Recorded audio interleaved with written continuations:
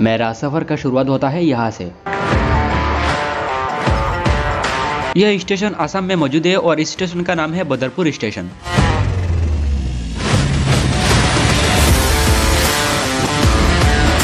मेरा सफ़र शुरू होता है बदरपुर से और ख़त्म होता है विजयवाड़ा में।